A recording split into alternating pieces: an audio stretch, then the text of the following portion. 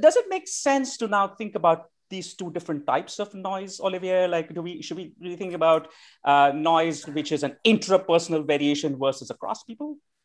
It's both actually, and it makes sense to think about this. And, and you were talking about the difference between noise and you know, between this book and thinking fast and slow. It makes sense to think about this mostly as a distinction between the individual level and the collective or the organizational level bias in the psychological sense that Danny was describing in Thinking Fast and Slow is an individual thing, which, by the way, is what makes it so appealing. We can all recognize how we think and that we have biases in the way we think.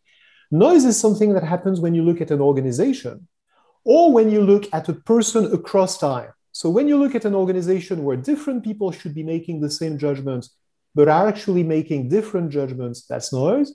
When you look, as you were pointing out, at the same person making different judgments of the same problem on different occasions, which is also something that in principle shouldn't happen, that's also noise.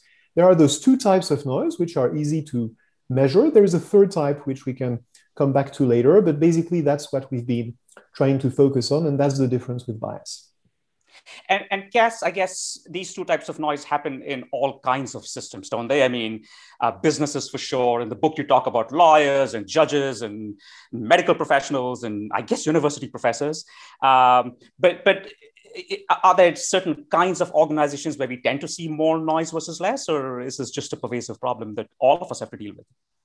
Okay, so let's distinguish a little bit more between noise within the person and noise uh, across an organization.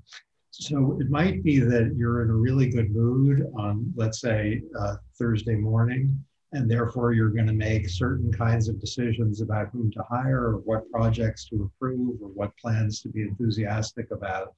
But on Friday afternoon, when you're really tired, you might think all of those are terrible ideas and there's a lottery depending on which you is making the decision at uh, at work or maybe even at home. That's within the person.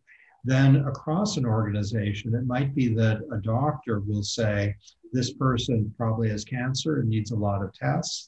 But another doctor who's equally expert will say this person probably doesn't have cancer and really doesn't need a lot of tests we know that where you have an organization that has individuals making decisions rather than aggregating independent judgments, there's going to be more noise.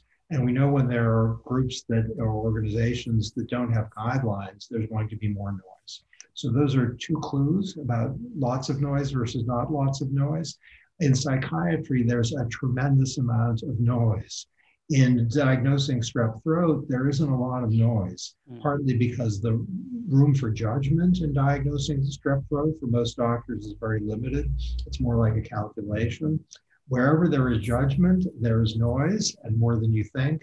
But in some cases, uh, some judgments, as Orwell might have said, are more equal than others in the sense that because they're guideline free and you're not aggregating independent judgments, uh, people are going to be all over the map.